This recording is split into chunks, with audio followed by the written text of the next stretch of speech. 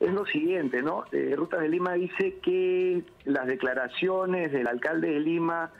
son contrarias a, las reglas de juego, que la empresa considera que dicha declaración es un acto contrario, ¿no? Así lo refieren. Pero lo que el alcalde ha planteado es en, en, estricto cumplimiento de su función como representante de la ciudadanía, de los ciudadanos de esta ciudad, que alberga más de 11 millones de compatriotas,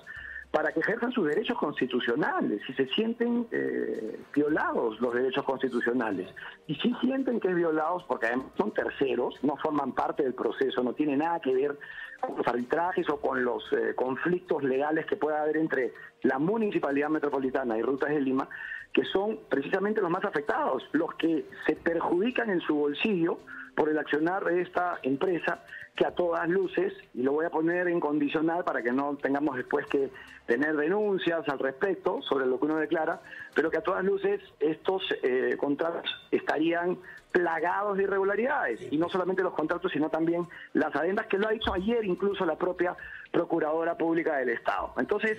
eh, lo primero que hay que decir es que para ellos, cuando les afecta sus intereses, son declaraciones que van como actos contrarios a las reglas que deben imperar en un Estado de Derecho. Pero sin embargo, en el último párrafo dicen que ellos van a recurrir y seguirán recurriendo a las vías legales correspondientes. Entonces ahí sí, esto no sería pues este una, un acto contrario, ¿no? Porque ellos iban a seguir recurriendo a los actos este, legales que correspondan, ¿no? Evidentemente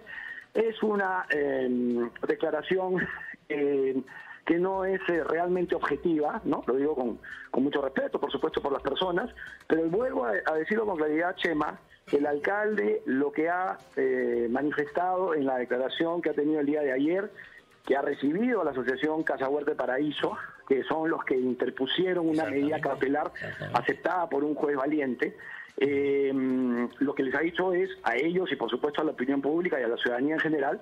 que recurran a las instancias correspondientes para que si se sienten afectados en sus derechos, acá hay un derecho eh, elemental que es el de la libre circulación, el de la libertad de poder transitar y de no afectar los bolsillos de las personas. Entonces, eh, no hay nada que hay regular.